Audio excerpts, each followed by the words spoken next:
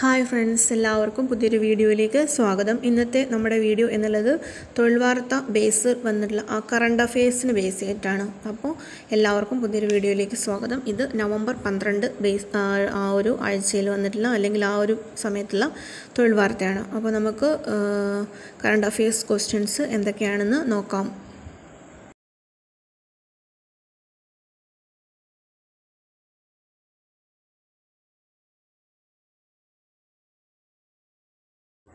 ഇന്ത്യയുടെ എത്രാമത്തെ ഉപരാഷ്ട്രപതിയാണ് ജഗദീപ് ധൻകർ പതിനാലാമത്. ഇന്ത്യയുടെ പതിനാലാമത്തെ ഉപരാഷ്ട്രപതിയാണ് ജഗദീപ് ധൻകർ രാജസ്ഥാനിലെ ജുൻജുനുവിൽ ജനിച്ച ധൻകർ പശ്ചിമബംഗാൾ ഗവർണർ സ്ഥാനം രാജിവെച്ചാണ് ഉപരാഷ്ട്രപതി തിരഞ്ഞെടുപ്പിൽ മത്സരിച്ചത്. പശ്ചിമബംഗാൾ ഗവർണർ സ്ഥാനം രാജിവെച്ചാണ് ഉപരാഷ്ട്രപതി തിരഞ്ഞെടുപ്പിൽ മത്സരിച്ചത്. രണ്ടാമത്തെ ചോദ്യം നാവികസേനയ്ക്കായി വികസിപ്പിച്ച ഇന്ത്യയുടെ ആദ്യത്തെ യാത്രാ ഡ്രോണിന്റെ പേരെന്താണ്? വരുണ.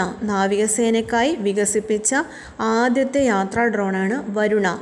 സ്വകാര്യ സ്റ്റാർട്ടപ്പ് കമ്പനിയായ സാഗർ ഡിഫൻസ് എഞ്ചിനീയറിംഗ് ആണ് പൈലറ്റ് ഇല്ലാതെ ഒരാൾക്ക് സഞ്ചരിക്കാവുന്ന വരുണ വികസിപ്പിച്ചെടുത്തത്. സ്വകാര്യ സ്റ്റാർട്ടപ്പ് കമ്പനിയായ സാഗർ ഡിഫൻസ് എഞ്ചിനീയറിംഗ് ആണ് പൈലറ്റ് ഇല്ലാതെ ഒരാൾക്ക് സഞ്ചരിക്കാവുന്ന വരുണ വികസിപ്പിച്ചെടുത്തത്.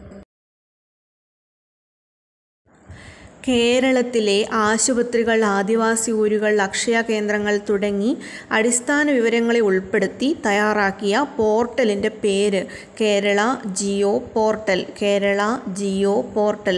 കേരളത്തിലെ ആശുപത്രി ആദിവാസി ഊര് അക്ഷയ കേന്ദ്രങ്ങൾ തുടങ്ങിയ അടിസ്ഥാന വിവരങ്ങളെ ഉൾപ്പെടുത്തി തയ്യാറാക്കിയ പോർട്ടലിന്റെ പേര് Kerala geo portal.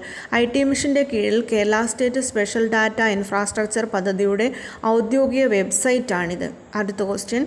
ചന്ദ്രനിലേക്കുള്ള ദക്ഷിണ കൊറിയയുടെ ആദ്യത്തെ ഉപഗ്രഹം ഏതാണ്? ധനൂരി. ചന്ദ്രനിലേക്കുള്ള ദക്ഷിണ കൊറിയയുടെ ആദ്യത്തെ ഉപഗ്രഹമാണ് Danuri. Danuri. Korean pathfinder lunar orbiter എന്നും കൂടിയാണ് മറ്റൊരു പേര്. Korean pathfinder lunar orbiter എന്നാണ് മറ്റൊരു പേര്. Korean pathfinder lunar orbiter എന്നാണ് മറ്റൊരു പേര്. ഇന്ത്യയുടെ എത്രാമത് ചീഫ് ജസ്റ്റിസ് ആയാണ് യു യു ലളിത് രണ്ടായിരത്തി ഇരുപത്തിരണ്ട് ഓഗസ്റ്റ് ഇരുപത്തിയേഴിന് ചുമതലയേറ്റത്. അത് നാൽപ്പത്തി ഒൻപതാമത് ഇന്ത്യയുടെ എത്രാമത് ചീഫ് ജസ്റ്റിസായാണ് യു യു ലളിത്. രണ്ടായിരത്തി ഇരുപത്തിരണ്ട് ഓഗസ്റ്റ് ഇരുപത്തിയേഴിന് ചുമതലയേറ്റത് നാൽപ്പത്തി ഒൻപതാമത്തത് മഹാരാഷ്ട്രക്കാരനായ ലളിതിന്റെ കാലാവധി എഴുപത്തിനാല് ദിവസത്തെ സേവനത്തിന് ശേഷം നവംബർ എട്ടിന് അവസാനിക്കുകയും തുടർന്ന് അമ്പതാമത്തെ ചീഫ് ജസ്റ്റിസായി ഡി വൈ ചന്ദ്രചൂഡ് ചുമതലയേൽക്കുകയും ചെയ്യുന്നു. അൻപതാമത് ചീഫ് ജസ്റ്റിസായിട്ട് ഡി വൈ ചു ചന്ദ്രചൂഡ് ചുമതലയേൽക്കുകയും ചെയ്യുന്നു. നെക്സ്റ്റ് ക്വസ്റ്റ്യൻ ഇന്ത്യയുടെ ഇപ്പോഴത്തെ ക്യാബിനറ്റ് സെക്രട്ടറി ആരാണ്? രാജീവ് ഗൗബ. ഇന്ത്യയുടെ ഇപ്പോഴത്തെ ക്യാബിനറ്റ് സെക്രട്ടറി രാജീവ് ഗൗബ. ലോകത്തിലെ ഏറ്റവും വലിയ ഫ്ലോട്ടിംഗ് സോളാർ പ്ലാന്റ് നിർമ്മിക്കുന്നത് എവിടെയാണ്?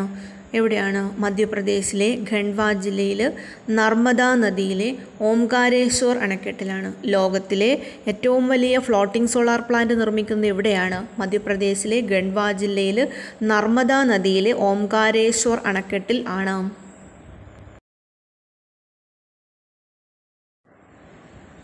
വിഭജന ഭീതി സ്മരണ ദിനം ആചരിച്ചത് എന്നായിരുന്നു.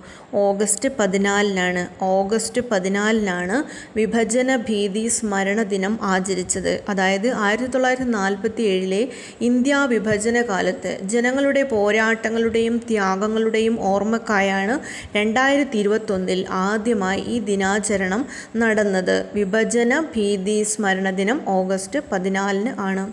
Next question council of scientific and industrial റിസർച്ചിന്റെ പുതിയ ഡയറക്ടർ ജനറൽ ആരാണ്? Doctor Kalai Selvi council of scientific and industrial റിസർച്ചിന്റെ പുതിയ ഡയറക്ടർ ജനറലാണ് ഡോക്ടർ കലൈ സെൽവി.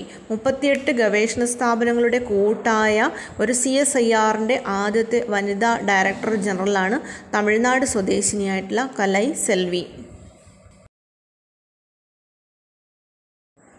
ലോക ചെസ് ഒളിമ്പ്യാഡിൽ കിരീടം നേടിയ രാജ്യം ഉസ്ബെക്കിസ്ഥാനാണ്. ലോക ചെസ് ഒളിമ്പ്യാഡിൽ കിരീടം നേടിയ രാജ്യം ഉസ്ബെക്കിസ്ഥാൻ. ഓപ്പൺ വിഭാഗത്തിൽ ഉസ്ബെക്കിസ്ഥാൻ സ്വർണം നേടി വെള്ളി നേടിയത് അർമേനിയ. വനിതാ വിഭാഗത്തിൽ ഉക്രൈനാണ് സ്വർണം കിട്ടിയത് ജോർജിയ വെള്ളി സ്വന്തമാക്കി. പിന്നെ ചെറിയ ഉപഗ്രഹങ്ങൾ കുറഞ്ഞ ചെലവിൽ വിക്ഷേപിക്കുന്നതിന് ഐ എസ് ആർ ഒ രൂപകൽപ്പന ചെയ്ത വിക്ഷേപണ വാഹനം ഏതാണ്?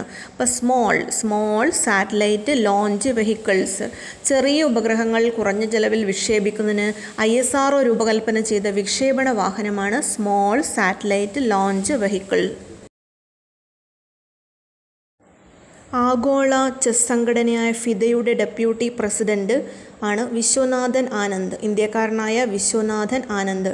പ്രസിഡന്റായി വന്നത് അർക്കാഡി ഡോർകോവി റിച്ച് അത് റഷ്യക്കാരനാണ്. ഇതിന്റെ ഡെപ്യൂട്ടി പ്രസിഡന്റ് വിശ്വനാഥൻ ആനന്ദ്. രണ്ടായിരത്തി ഇരുപത്തിരണ്ട് ഓഗസ്റ്റ് എട്ടിന് അന്തരിച്ച ബെർലിൻ കുഞ്ഞനന്ദൻ നായരുടെ ആത്മകഥയാണ് പൊളിച്ചെഴുത്ത്. രണ്ടായിരത്തി ഇരുപത്തിരണ്ട് ഓഗസ്റ്റ് എട്ടിന് അന്തരിച്ച ബെർലിൻ കുഞ്ഞനന്ദൻ നായരുടെ ആത്മകഥയാണ് പൊളിച്ചെഴുത്ത്. ദേശീയ കൈത്തറി ദിനം എന്നാണ് ഓഗസ്റ്റ് ഏഴ്. ദേശീയ കൈത്തറി ദിനം ഓഗസ്റ്റ് ഏഴ്. അടുത്ത ക്വസ്റ്റ്യൻ സംസ്ഥാന സർക്കാർ നിയമിച്ച ഉന്നത വിദ്യാഭ്യാസ കമ്മീഷന്റെ അടുത്തിടെ റിപ്പോർട്ട് സമർപ്പിച്ചിരുന്നു. ഈ കമ്മീഷന്റെ അധ്യക്ഷൻ ആരാണ്?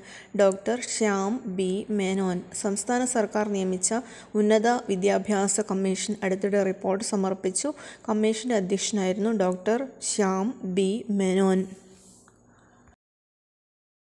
പത്രങ്ങളിലും സമൂഹമാധ്യമങ്ങളിലും വരുന്ന പരാതി സ്വഭാവങ്ങളുള്ള വിഷയങ്ങളെ വിലയിരുത്തി പരിഹരിക്കുന്നതിനായിട്ട് കേന്ദ്ര സർക്കാർ കൊണ്ടുവന്നിട്ടുള്ള പ്ലാറ്റ്ഫോം ആണ് G P GRAMS. Centralised public grievance redress and monitoring system. Centralised public grievance redress and monitoring system അല്ലെങ്കിൽ C P GRAMS. Next question ബീഹാറിൽ എത്രാമത്തെ തവണയാണ് നിതീഷ് കുമാർ മുഖ്യമന്ത്രിയായത്? എട്ടാം തവണയാണ് അപ്പോൾ എട്ടാം തവണയാണ് ബീഹാറിൽ നിതീഷ് കുമാർ മുഖ്യമന്ത്രി ആയത്.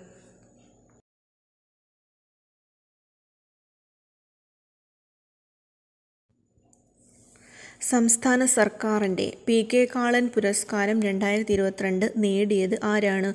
ചെറുവയൽ രാമൻ. സംസ്ഥാന സർക്കാരിന്റെ പി കെ കാളൻ പുരസ്കാരം രണ്ടായിരത്തി ഇരുപത്തിരണ്ട് നേടിയത് ചെറുവയൽ രാമൻ. കൃഷി നാടോടി വിജ്ഞാനീയം വിഭാഗത്തിലാണ് നെല്ലച്ചൻ എന്ന അപരനാമത്തിൽ അറിയപ്പെടുന്ന രാമന് പുരസ്കാരം ലഭിച്ചത്.